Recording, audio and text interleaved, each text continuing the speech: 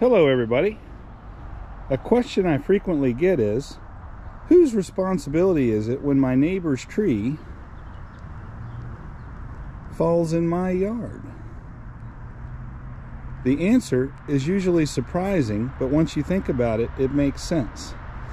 It's the person whose property the tree falls in, their responsibility to deal with the damage and cleanup of a tree. Doesn't seem fair when people first hear that. Sorry for the truck. But if you think about it, if it's not a tree falling over in the yard, but it's actually a tree that's ripped out of the top, a limb, in a tornado and is flung a half a mile and then lands in a yard or in a house, do you want to be responsible for figuring out what tree it came from?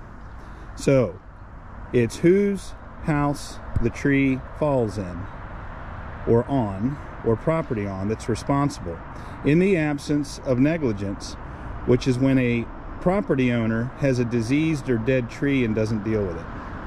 Tune in for more insurance updates and little notifications. Thank you